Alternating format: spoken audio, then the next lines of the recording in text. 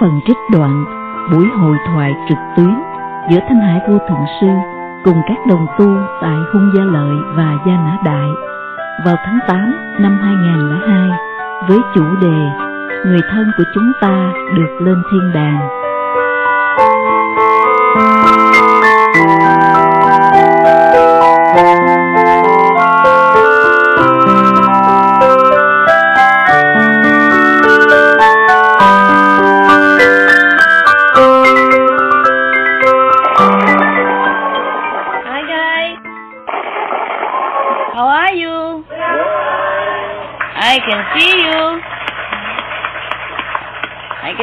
your beautiful faces. yes. Thưa sư phụ con xin phép nói tiếng Việt.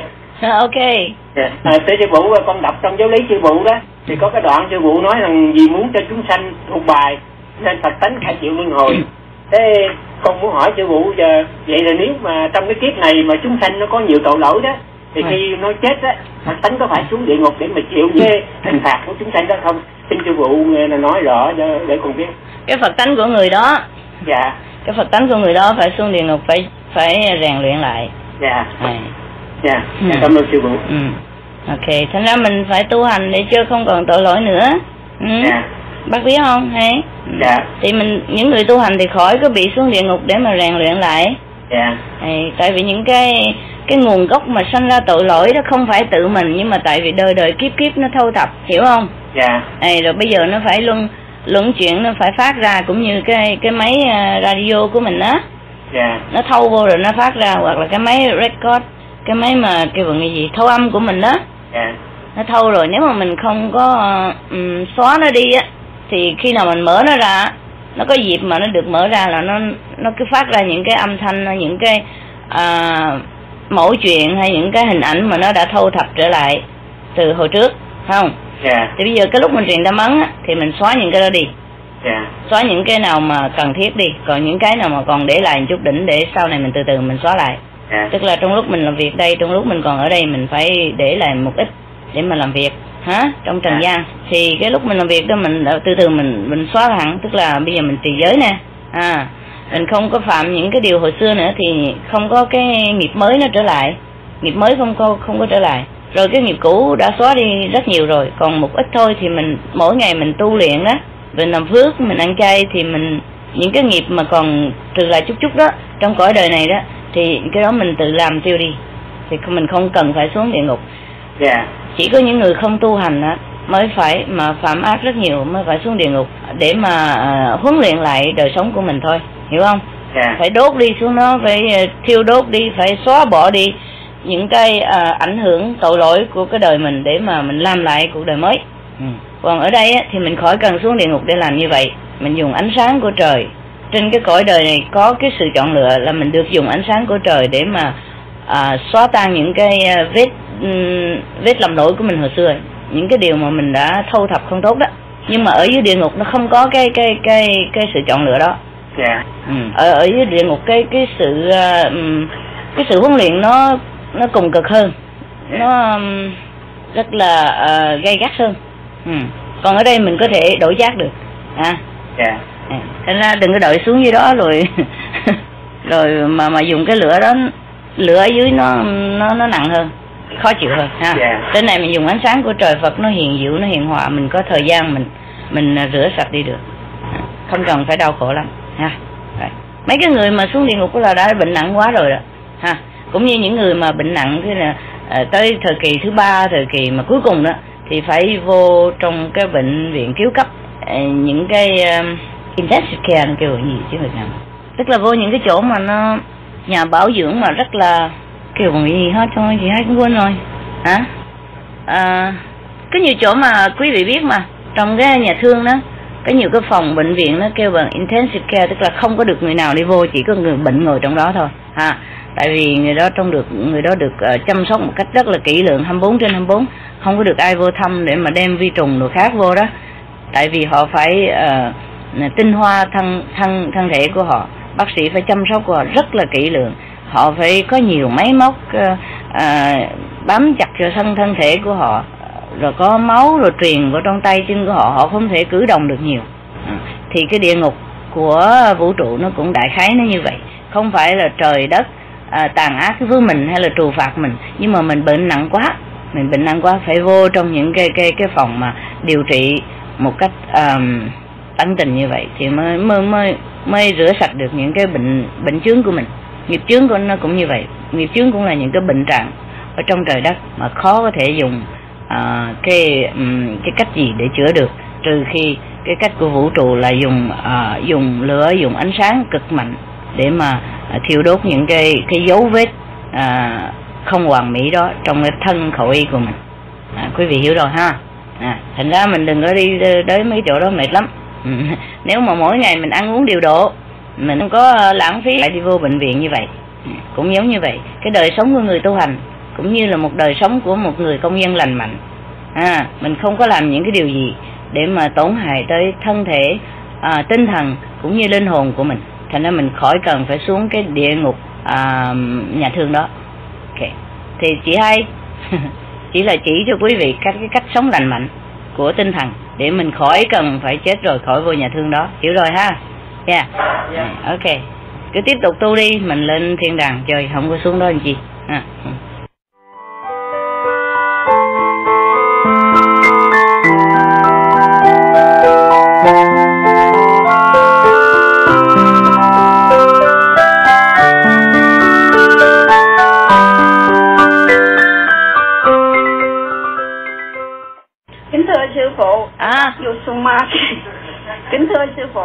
Ba má con mất cách này khoảng 5 năm. Nhưng mà à. mỗi lúc con ngồi thiền con thường cầu sư phụ để cho con gặp ba má con. Ừ. nhưng mà không lúc nào con được thấy ba má con hết.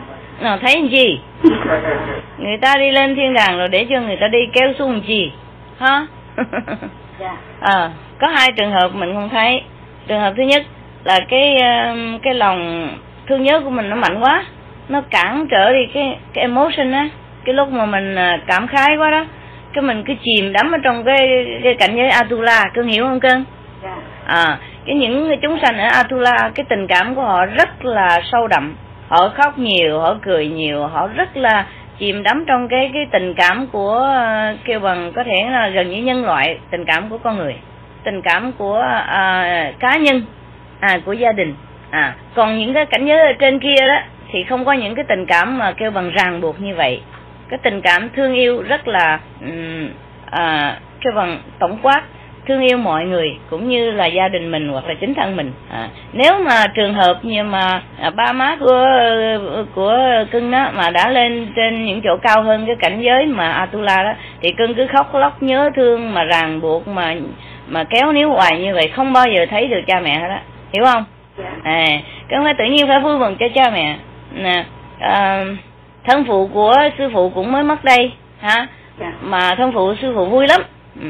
à, một cái lúc mà mới đi mới à, mới à, kêu bằng lìa cái thế giới à, thế giới um, phàm trần của mình á. Dạ. thì uh, ngài đi lên trên cảnh giới cao rồi. Nhưng mà ở dưới này bà già khóc quá. Bà già khóc rồi thương rồi nhớ rồi mấy đứa em khóc rồi mấy đứa cháu khóc quá trời. Ông già xin phép xuống vacation ông già xin phép xuống thì nói chuyện với chị hai. À, nói chị hai đi qua khuyên bảo ông già bà già ừ, qua khuyên bảo bà già chút. À, chị hai nói chuyện với gia đình một hồi cái bà má hết rồi. Bà má bớt buồn rồi em cũng hết buồn tự nhiên cái vui hai người vui rồi. Làm chị hai cũng vui thêm. Chứ hồi mấy người khóc lóc buồn bã chị hai cũng buồn bã luôn á. À, kéo níu với nhau hiểu chưa? Ừ mình thương nhớ là thương nhớ cái xác thịt của người đó thôi còn cái vị đó lúc nào đã lên thiên đàng rồi thì lên lên chỗ cao sang sung sướng rất là hạnh phúc. À, hoàn mỹ muốn gì được nấy thân thể tinh thần hay là linh hồn rất là tự tại an nhiên muốn đi đâu một khắc là đi tới nơi liền. Muốn cái gì một khắc là tới trước mặt liền. Quần áo không cần lo không có gì hết. Và để những cái thời giờ rảnh rỗi để mà học hỏi những cái điều cao cao thượng hơn những điều huyền bí hơn của vũ trụ mình đừng có kéo níu người ta xuống làm gì à thí dụ như con cái mình thí dụ đi thí dụ ở trên đời này ha mình có mấy đứa con đi học ha có người nào translate cho mấy người à, à cho quý vị à, tiếng anh à, tiếng tàu biết không? Có good good good. Chị hai nói có lẹ lắm không? Bla bla bla bla ok không? Được ha ok.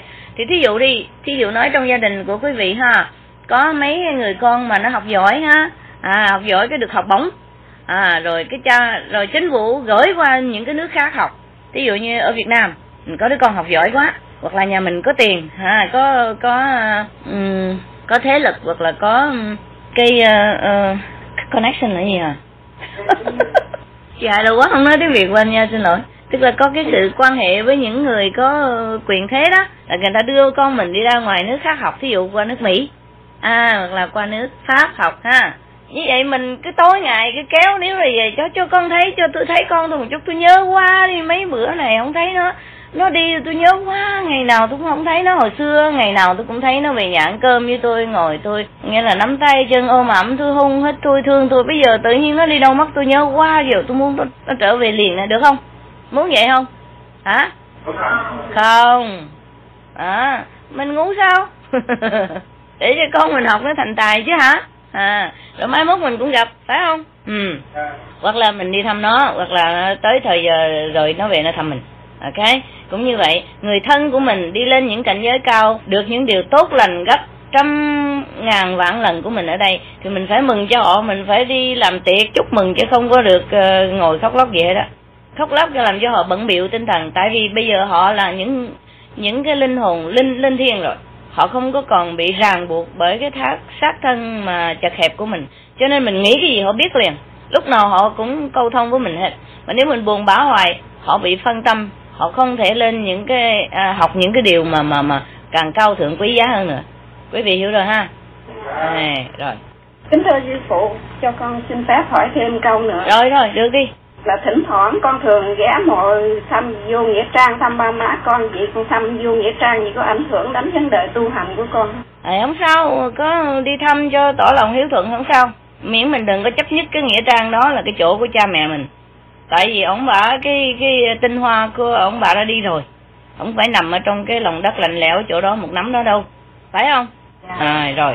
Thì mình vô đây mình thăm là cũng như mình chăm sóc mồ mã để cho um, theo truyền thống như vậy đó mà những người tu hành á, thường thường á nếu mà những người tu hành mà họ đã khai ngộ rồi không bao giờ họ chấp nhất cái xác thân họ thảy xuống dưới nước cho cá ăn hoặc là họ thảy lên trên cái núi cho mấy con chim uh, chim uh, đà điểu gì đó nó ăn. Hoặc là họ thiêu thiêu thân thể đi để rảy ra rảy ra trong trong sông biển như vậy cho nó tự tại đi khắp nơi. Hoặc là à, nó bồi dưỡng những cái cái cái cái um, bồi dưỡng cho cho cái sự um, phì nhiêu của đất đai. Thì còn mình thì mình à, theo truyền thống mình không có bỏ được truyền thống thì mình cứ làm theo truyền thống. Đó, tức là có cái mồ đó rồi lâu lâu mình đi thăm vậy để mà tỏ cái lòng à, à, à hiếu thuận. Thì không thì không có lỗi gì. Hả thì cũng tốt nhưng mà đừng có đừng có chấp nhất cho đó đừng có nghĩ cha mẹ mình nằm ở trời đất ơi. Nếu mà cha mẹ mình nằm đó có phải là tội nghiệp lắm không? Ai mà muốn có khi nào mình muốn cha mẹ mình nằm ở dưới đất lạnh lẽo vừa mấy trăm mấy ngàn năm không muốn không? Không. Thì phải nghĩ như vậy. Nếu mà mình ràng buộc ông ba ở đó là là mình là tội bất hiếu ghê lắm á. Hiểu chưa? Ừ mình phải cái cái cái đầu óc mình phải nghĩ những cái điều rộng lớn những cái điều cao đẹp những cái thế giới rất là là là um, mỹ miều để cho cha mẹ mình lên đó an hưởng những cái cái cái cái cái cái cuộc đời còn lại của của cái cái um, cái sự trường tồn của họ. Chứ không bao giờ mà nghĩ rằng cha mẹ mình nằm ở những cái miếng đất nhỏ xíu mà lạnh lẽo như vậy tối ngày không chăn không mền không con không cái không đồ ăn uống như vậy làm gì mà có cái sự đó? Hiểu rồi. Hiểu hả? Dạ. À ok good. Cảm ơn sư phụ. À không có gì. Mà cân thiệt hiểu rồi ha. Ờ à, đừng đừng có trù ẻo cha mẹ hiểu không? Không phải nói một mình cưng. Kinh hỏi như vậy rất là tốt câu hỏi rất là tốt không phải sư phụ à, nói cưng hỏi như vậy là là không tốt gì đâu. Cưng hỏi như vậy có tốt cho bao nhiêu người khác bao nhiêu người khác à, nghe chị hai giải thích như vậy cũng đều hiểu hết. Tại vì mình không có thể nào những cái gì cái đầu óc mình nghĩ những cái gì nó ra cái đó. Quý vị nên hiểu như vậy. Tại vì à, nhất thiết vi tâm tạo tất cả những cái gì mình nghĩ ra là từ cái tâm của mình là sớm muộn gì nó cũng thành cho nên phải nghĩ những điều rất là tốt đẹp những điều rất là hoàn mỹ những điều rất là huy hoàng để cho cha mẹ mình hưởng thụ. Và cuộc đời mình cũng càng càng ngày càng huy hoàng lên và sạch sẽ và sung sướng khoái lạc hơn. Thí dụ bây giờ chị hai nói mình có có được chọn lựa gì đâu. Thí dụ như chị hai nói ha à, quý vị à, nghĩ như cứ nghĩ những cái điều khẳng định đi những điều tốt đẹp đi rồi nó sẽ nó sẽ đến cho quý vị những điều tốt đẹp sẽ đến. Rồi thí dụ như chị hai nói láo đi chị hai nói là nghĩ những điều tốt đẹp rồi những cái điều tốt đẹp nó không đến nhưng mà nó cũng đâu mình đâu có mất mát gì đâu. À, còn hơn là mình nghĩ những cái điều xấu. Rồi mai mốt cái điều xấu nó cũng đến. Thì tối ngày mình nghĩ điều xấu hoài rồi cái mai cái điều xấu nó cũng đến. Là cả cuộc đời mình còn những điều xấu không? Thà là mình nghĩ những điều tốt đẹp có phải không? À còn cái chừng nào nó xấu nó đến là nó xấu chừng đó mình tính sao? Chứ mà cái điều xấu nó sẽ đến rồi mình ngồi đây tối ngày mình nghĩ điều xấu hoài là cuộc đời mình toan là một cái điều xấu không? Không có lúc nào mà đẹp hết mình không có cái trí tưởng tượng mình không có cái những cái điều mơ mộng gì mỹ miều để cho mà ờ, mà cái cái cái mộng của mình sẽ một ngày thành thành sự thật cả. Cho nên mình phải nghĩ những điều tốt đẹp. À, mình không mất mát gì cả. Hiểu chưa? Mà mình sẽ được thêm lên mình sẽ được à, hưởng thụ thêm. Chứ mà nghĩ những điều xấu là không không có tốt gì cho mình cả. Hiểu rồi ha? Hiểu cái cái cái cái cái sự à, hợp lý của nó rồi ha? À chứ không phải chị hai nói gì tin ấy tin mù mắt gì mà tin. Cái gì phải hợp lý mình mới tin ừ, chị hai nói này có hợp lý không? Hiểu rồi ha hiểu rõ rõ ràng ha. Ok.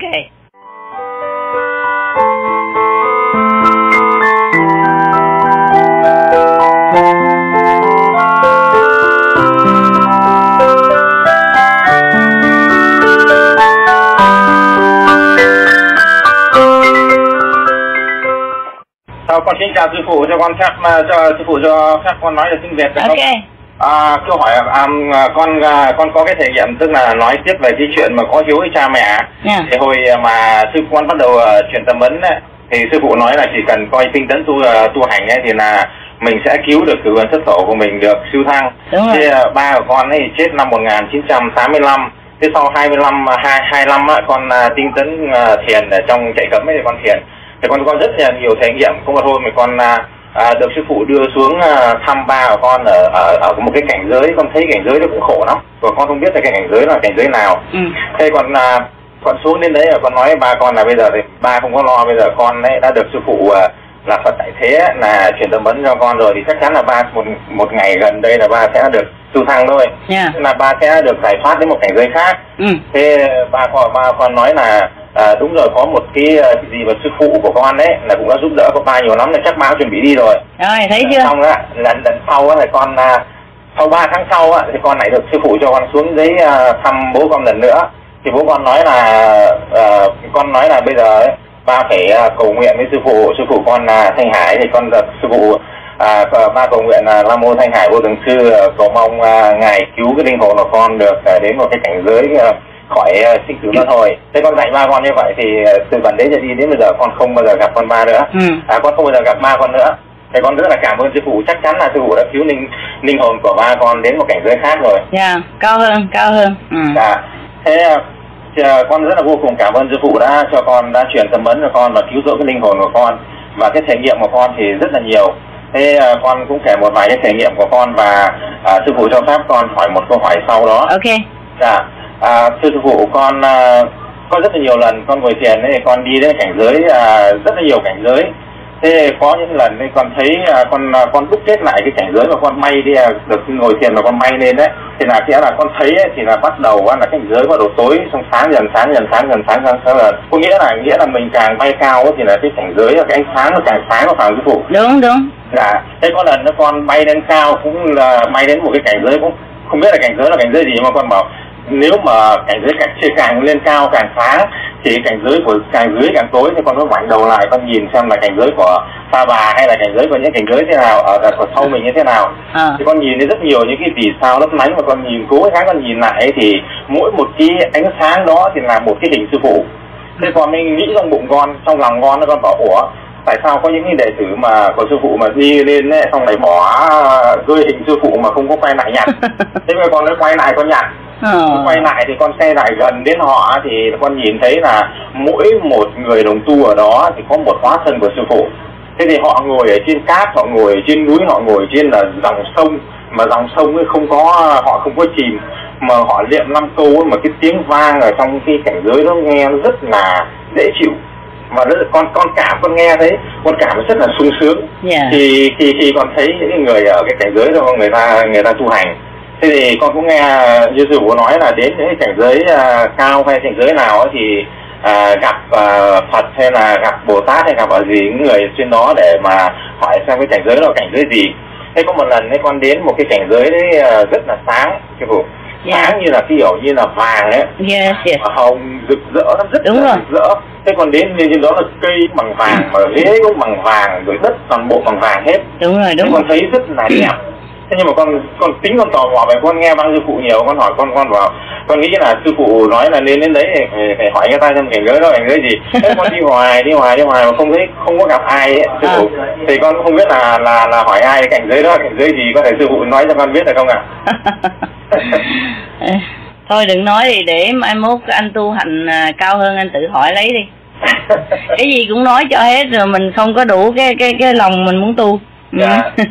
Dạ. được rồi nếu mình thấy cảnh giới cao là mình đã sung sướng rồi khỏi cần phải à, hỏi anh chi dạ à. vâng sư phụ lên cái cảnh giới đấy rất là người mình cảm thấy dễ chịu đó ờ à, đúng rồi đúng rồi con bay đến gần đến cái cảnh giới đó là con nhìn toàn bộ như là một cái hào quang đúng là hào quang của Phật mà. Đúng rồi đúng rồi. Thế là con nhìn nó con bảo đây chắc chắn là cảnh giới này là cảnh giới của Phật rồi nhưng mà đúng rồi. không biết là chính xác là Phật Bồ Tát có nhiều những cảnh giới ở trên đó đó. À. thế con bảo nhưng mà thôi chứ nên đấy để tò mò để hỏi xong là con đi vòng quanh vòng quanh con nhìn tất cả. Con nhìn cả ghế con nhìn cả cây mà có cả tiếng chim hót rất là hay.